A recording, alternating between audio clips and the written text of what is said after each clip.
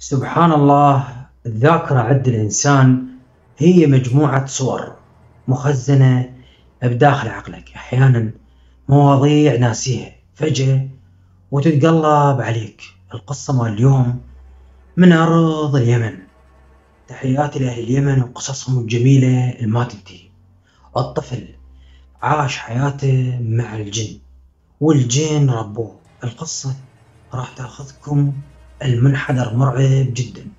لهذا السبب أريدك تحط لايك لهذا الفيديو وتشاهد الفيديو من البداية للنهاية. إذا أنت حابني ورايد تدعمني لأن تفاصيل القصة كثيرة وما أريد أضيع من عندها فد حاجة وصلوا لي على الحبيب المصطفى للتحصين. واذكروا لي الله يا جماعة الخير لأن الجن على ذكرهم يحضرون. ويلا نبدي بقصتنا. اسمي رسول وعمري 16 سنة. وما أعرف شلون نبدي بالقصة مالتي أو أرتب الأحداث اللي لكن راح أسردها لكم والقرار يبقى بديكم أنتو إذا تريدون تصدقون بيه القصة حدثت وياي لما أنا صغير أو قبل لا أجي للدنيا. شلون بدت جايكم بالتفاصيل. بيوم من الأيام قمت على والدتي لقيتها ممددة على الأرض. كان والدي ما موجود. كأنه مصعوقة بكهرباء. كانت تحرك بيديها ورجليها بصورة غريبة وكانت تصرخ وتقول لهم شو تريدون من عندي؟ اتركوني. تتكلم ويا ناس لكن اني ما أعرف ويا من جد تتكلم. وهاي النوبات كانت تجيها أحيانا لكن يوم اللي تصحى تقول لي كني تحلم؟ وتجيها دائما بالغرفة لكن هالمرة لقيتها ممددة بالصالة وما كان موجود أي أحد. وياي بالبيت كبير. من ما عدا إخواني اللي كانوا أصغر من عندي موجودين بالغرفة وما كانوا قاعدين. وأنا صحيت على صوت والدتي فأجيت عليها أحاول يعني أقعدها. ما أعرف شلون دفعتني بإيدها دفعة قوية وقالت اتركني. لكن نبرة صوتها كانت غريبة. المهم بذاك الوقت يوم اللي دفعتني ما أدري شنو اللي حصل لي وصوتها صار مرعب أكثر. الصراحة صح أنا كبير بالعمر لكن خفت من عندها رحت أركض باتجاه الغرفة. سديت الباب علي وأنا أسمع صوتها وهي كانت تتعذب. لغاية ما صرخت بصوت عالي وبعدها صار هدوء بالمكان. خفت عليها وقررت أطلع. فتحت الباب وطلعت. وتفاجأت بمنظر غريب. كانت والدتي جالسة على الأرض وكانت فاردة يديها وكانوا أكو نساء اثنين. ما أعرف منهن وما كانت وجوههم واضحة كأنه كانوا منقبات وحدة لازمة ايدها اليمين ووحدة لازمة ايدها اليسار وكانوا يتلون بكلمات غريبة. والدي يوما يلا يرجع. المهم بذاك الوقت كانت ليلة صعبة جدا. وما أعرف شلون عدت بتفاصيلها المرعبة. وبعد ما أجى الصبح والدتي طبيعي تضحك وكانت تتكلم وياي وقلت لها البارحة صار كذا وكذا. لونها تغير وخافت. قلت لها شبيك قالت ما بي أي حاجة. أنت أكيد كنت تحلم. أنا نايمة بالغرفة. قلت لها لا. حقيقة ولا تقول لي, تحلم. كل مرة تصير أشياء غريبة وياي. وقلت لك ديك المرة على القطة اللي كلمتني وتقول لي أنت تحلم. وأنا لا أنا ما أحلم وأنا متأكد اللي جاي أشوفه جن. قالت لا تعيد هذا الكلام بعد. المهم قمت أقولها لا جن وأنتم ضامين علي؟ حاجة معينة. المهم قامت وضربتني وصيحت علي. انقهرت وطلعت أركض. كانت عندنا أغنام دائما أخذها وأسرح بيها بالوديان. هالمرة ما أخذت كل شيء وطلعت أتمشى على وجهي. طلعت وراي وهي تناديني وتقول لي ما رايدة منك شيء خليك قريب من البيت ولا تروح بعيد.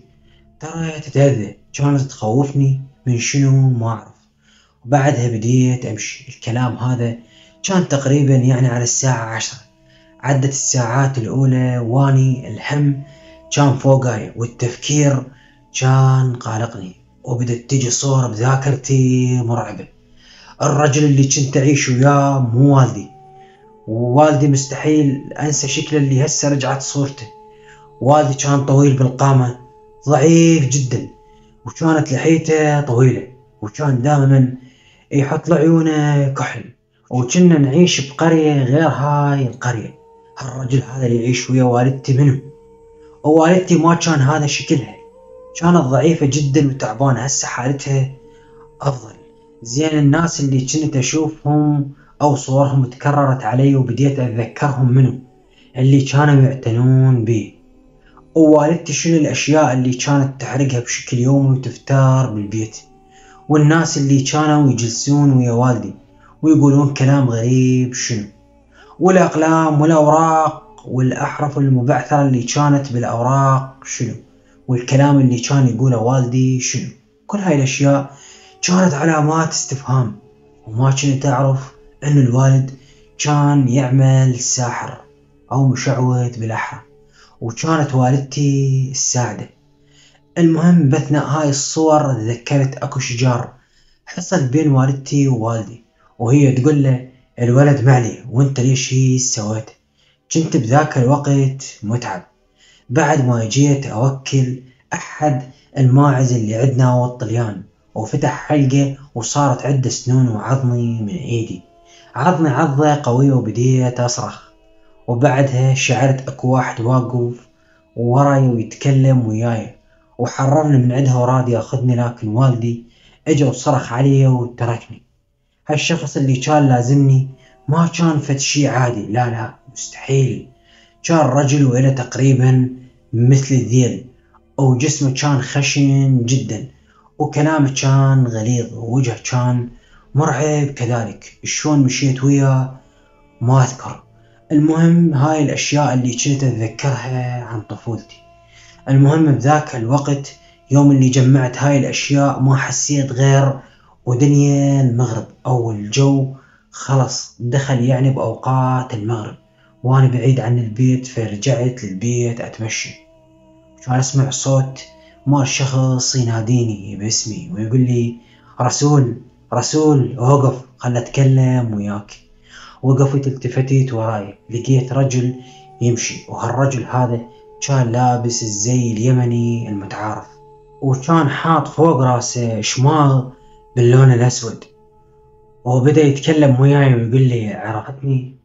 شكله هيئته صوته سامع كان والدي. قال لي أنا والدك. وقفت بحيرة. ما قدرت أروح عليه. مشتاق له وبنفس الوقت خايف. بعدها قال لي تعال وإلزمني ليش أنت خايف؟ المهم رحت أتمشى عليه وهو فاتح ذراعه وكان منزل رأسه على الأرض وكان حاط فوق رأسه إيش ما قلت لكم أو ما قلت لكم باللون الأسود وكان كبير. بعد ما وصلت ليمه وحضنته حتى أعرف القصة من عنده واللي حدث وياي شنو؟ شعرت بدوار شديد. وشعرت إنه أقدامي رفعت عن الأرض. وحسيت نفسي جاي أطير وكنت أسمع صوت مال رياح قوية لحد ما صحيت وكان ألقى نفسي بمكان ثاني مقابيل بيت قديم. والرجل هذا كان واقف ويقول لي تعال وأنا أبوك تعال ادخل وياي. دخلني لي جوا وكان يشوفت البيت. قال هذا البيت والدتك بعد ما تركتني راحت وتزوجت. انت كنت صغير ما تذكر. بعد ما صار موقف واني ما تبت عن الأشياء لكن مستحيل أتنازل عنك. وأنا أريدك وأنت ابني. تنسى طفولتك بهذا المكان. المهم بهالاثناء خرجوا أطفال اثنين قلت له ذولا منو؟ قال لي ذولا أخوانك من العالم الآخر. وبعدها قام يتكلم وصارت ناس تدخل وأعدادهم كبيرة جدا وأنفاسهم كريهة. واشكالهم مرعبة؟ قال لي ذولا كلهم مشتاقين إليك ويريدوك. لأن أنت لما كنت صغير كانت والدتك بصعوبة تصير حامل. وأنا بذاك الوقت اللي قدرت أعالجها عن طريق الجن. ما راح أخفي عنك حاجة ولا راح أكذب عليك. قلت له أنا وين وشون جبتني أنت بهاي السرعة؟ وأدري بيكم وهيج كلام أنتو ما يدخل عقلكم أو ما تقدرون. لكن السحرة والناس اللي تتعامل ويا الجن تعرف بهذا الشيء. الجن يقدر يعيشك بهاي الأجواء ويقدر يشوفك حتى فصول بيوم واحد ويقدر كل شيء يسوي وياك. المهم صرت أتكلم وصرت أبكي وقام يذكرني بعدة مواقف. والمرعب بالقصة كلها. المواقف اللي كنت أشوفها ما كانت مجرد مواقف عادية بالعكس كانت مواقف حقيقية. يعني مو مجرد إنه أنت جاي تتذكر لا تشوف. إذا هو يتعارك ويا والدتي فكنت أشوفه وأتذكر وأنا بسن كبير. تخيلوا قمت أطالع بيدي في سبيل أتأكد. والناس اللي كانوا موجودين كانوا يطالعون بي ومبتسمين كأنه فرحانين برجوعي. سألته وقلت له ذولا كلهم منو؟ قال ذولا عائلتك من الجن. هذولا اللي ربوك. هذولا اللي اعتنوا بيك. وانت لازم ترجع لهم هذا الشي ولازم تبقى يمي. ما رايدين منك اي حاجة. الموقف كان صعب جدا علي وعقلي ما يستوعبه. لحد ما حسيت أكو أشياء جاي تنزل على جسدي أو بالأحرى قطرات مال مطر بعد ما فتحت عيوني لقيت نفسي ممدد على جانب الطريق. قريب جدا من البيت والدنيا جاي تمطر والوقت متأخر.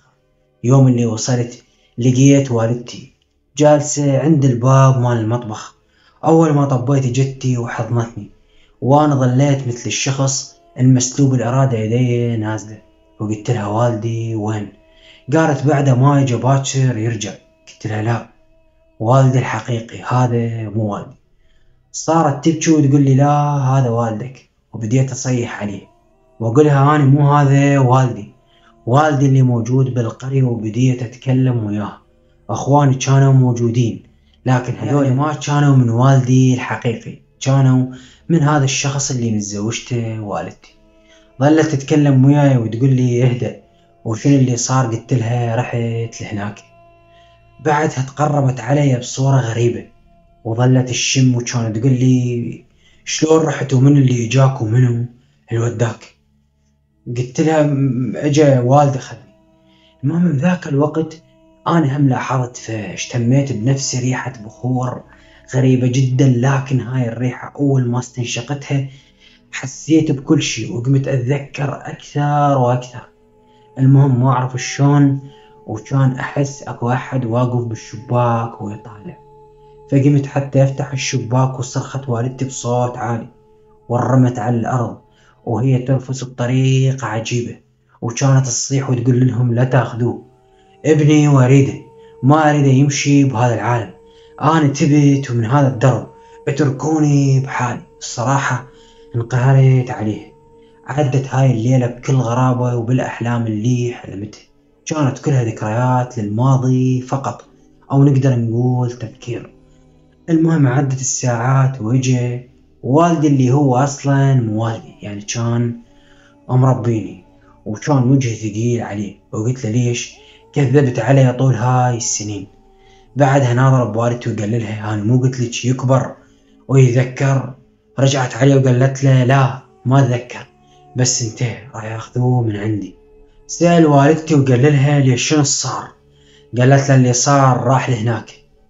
وأنا متأكدة وأنا اعرفه ما يكذب ما أتذكر. مو مجرد ذاكرة حكى تفاصيل دقيقة والتفاصيل هاي. كان هو صغير جدا من سابع المستحيلات أكو طفل يتذكر. اتذكر أشياء لما كان هو بعده باللفة أو بالقماط. ذاك الوقت الموضوع كبير عقلي ما يستوعب. أعرف عن الجن شي قليل لكن ما كنت أعرف الكلام اللي جاي ينحكي. قمت اصرخ واقول لها فهميني هو أنتو شنو اللي كنتوا تسووه؟ صارت تصرخ بصوت عالي وتقول لي أنا تبت وأنا عرفت هاي الأشياء كلها. وأني وأني وأني المهم بعدها هالرجل هذا اللي هو رباني اللي متزوج والدتي بدأ يقول لي والدك موجود بفلان مكان أخاف أنت ما تندله عدل. وأنا بالنسبة لي اعتنيت بيك وترى والدك واحد اثنين ثلاث والدك مشعوذ. ويتعامل بالسحر. ووالدتك كانت تساعده. والحمد لله والشكر تابت. وأنا تزوجتها واخذتها كنت فقير وما عندي. والحمد لله والشكر صار عندي هذا البيت والحلال اللي انت تطلع وتسرح بيه. أنا تزوجتها يوم اللي راحت يا مراقي المهم بذاك الوقت يعني علمني بالقصة كلها. لكن اني من هاي الليلة وصرت أكرههم كره مو طبيعي. أكره والدتي وأكره هذا الشخص وتجيني ليالي كأنه شخص يدفعني. لحد ما قمت أنعزل وأنطوي. الأفكار كانت تجيني إنه أنا أقتلهم وأتخلص منهم. وقمت أبات خارج البيت وأنا بسن يعني 16 يعني و17 سنة. أطلع وما أرجع. ولما أرجع باليوم الثاني مشاكل. والرجل هذا قام ما يقدر يتكلم وياي لأن كلمة إلي وكلمة إله وكان يسكت الخاطر والدتي. وكانت والدتي يعني مو طبيعية تحاول ترضيني بجميع الطرق لكن أني ما كنت أرضى. وبيوم من الأيام كنت أمشي وصار فد أمر غريب. لقيت مرة عجوز جالسة على طارف الطريق ورا المغرب. حبيت أساعدها وأنا بذاك الوقت كنت متوجه رايح بأحد الوديان. قمت أحب الجلوس بالوديان. المرة هاي قلت لها إيش عندك هنا؟ قالت أريدك تساعدني. وتعبت. اسندني ذاك الوقت سندتها. إيد على كتفي وبديت أمشي بيها. وين رايحة؟ إيش طلعك بهذا الليل؟ ما عندك أحد. وهي تشكي. وأمشي وأمشي وفجأة وكان أحس نفسي أنا متوجه خلاص على الوادي وقريب. أصلا ماكو بيوت هنا. وقلت لها أنت غير تقولي لي أنت أصلا وين رايحة؟ قالت رايحة وياك للوادي. بعدها نزلت تقريبا بالوادي وأنا حاير بيه. المرة هاي ليش يعني جابتني لهالمكان أو أنا ليش جبتها قالت لي اسمع أنا جالسة أتكلم وياك. أنا اللي كنت أعتني بيك وأنا اللي أحبك وأنا اللي أولى بيك. أنا اللي كنت بداخل والدتك وأنا اللي كنت لازمتك. وأنت برحم أمك وأنا اللي قدرت أتدخل بولادتك وتجي أنت للدنيا. ووالدتك أخذتك وراحت. ارجع لوالدك والدك. يحتاجك. وإذا أنت ما تريد ترجع له فالثروة اللي هو جمعها راح تروح. والدك احتمال يموت بأي وقت. وأنت هوايك وأشياء لازم تأخذها من والدك. بذاك الوقت هالمرة بدأت تسوي لي غسيل للدماغ. وكل ساعة يجون ناس يجلسون يمنا ويروحون بأشكال مرعبة وأنا بالي مشتت. لحد ما قلت لها أريد أنام. كانت تقول تعال مثل قبل نام على قدمي. أول ما نمت على قدمها حسيت يعني بنوم عميق. حلمت حلم واني بالبيت. وكان بالبيت أموال مو طبيعية وفلوس ومكان والدي دافن بي. بدأ يتكلم وياي ويقول لي أنا مخلي هنا وأنت لازم تندل هاي الأماكن. المهم يوم اللي صحيت صحيت وأنا بالوادي وحدي. ما موجود أي أحد يمي الصبح. وبعدها قمت من مكاني حتى أطلع من الوادي. وأنا جاي أمشي شفت واحد جالس ويطالع علي بين الصخور. قام وتقدم علي وكان شكله من بعيد نظيف. يوم اللي وصل وصل وهو غريب جدا وريحته طالعة. قال لي اسمع والدك دزني. ويقول امشي وياي. وكان ماد ايده علي ويقول لي الزمني حتى أخذك على والدك. قلت له خلاص أنا مدل الطريق وأنا أروح. أنت إنسان ولا جن؟ قال لي مو مهم. انطيني إيدك خلي أخذك. والدك يأذيني انطيني إيدك. ظل يعيد علي. آخر شي قلت له اتركني ما أريد.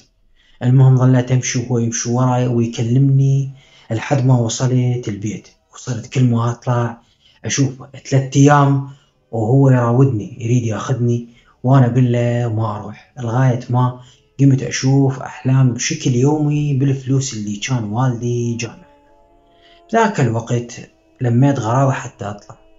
والدتي قالت لي والدك ما موجود. قلت لها شلون ما موجود؟ قالت والدك اختفى من سنين طويلة. بعد ما أنا وياه افترقنا اختفى. لأن بذاك الوقت راحوا عليه أقارب إليه في سبيل يقتلونه أو في سبيل يتحاربون وياه وراح قلت له وليش قالت لأن كان يجي دائما ويهددني يريد ياخذك وكان دائما يرسل علي شياطين من الجن وشياطين من الإنس اللي كانوا يساعدوه. وبعدها اختفى. بعد ما البيت اللي إحنا كنا ساكنين بيه صار بيه هجوم من الجن. طبعا القصة كانت غريبة وبيها عدة نواقص قلت لها يعني شنو هجوم قالت هجموا عليه الجن بسبب غلط. هو غلطه والناس رادت تفزع له لكن بعد ما عرفوا ان الموضوع موضوع جن انهزموا. قلت لها يعني ما جاي أفهم وضحي لي. قالت الجن جو علي بشكل بني آدم. قلت لها يعني شلون؟ قالت مثل اللي يظهرون هيك احتمال اللي يجي وأخذك هذا مو والديك من الجن. كانت جالسة يمي بالغرفة وبس أنا وياه قالت له أنا أحبك بس تعال ضمك أنا رايدتك وأنا أمك. ليش هيك جاي تسوي شنو اللي صار لك فجأة؟ كنت مثل الورد. ليش هيك؟ المهم كانت تقول لي لكن أنا كنت أكره. خير شي قلت لها أكرهك. قلت لها ما أعرف شنو اللي يمنعني. أريد أقوم وأقتلك لكن أكو حاجة تخليني أتراجع. وجاي أفور عليك. قالت لي ليش يعني أنت هالقد ضايج مني أو حاقد علي. قلت لها ما أريدك. ليش عفتيهم وليش ما ظليتي ويا والدي؟ وليش؟ وليش؟ بعدين قالت أنت تريده شنو قلت لها بدي أروح لوالدي. قالت البيت فارغ وما بي أي أحد. هذول جن وشياطين ويريدون ياخذونك. ومن ذاك اليوم لهاليوم أنا متحملة أذاهم وضربهم لي. وأنت هسه بكل سهولة تريد تعوفني وتروح؟ قلت لها إي أروح.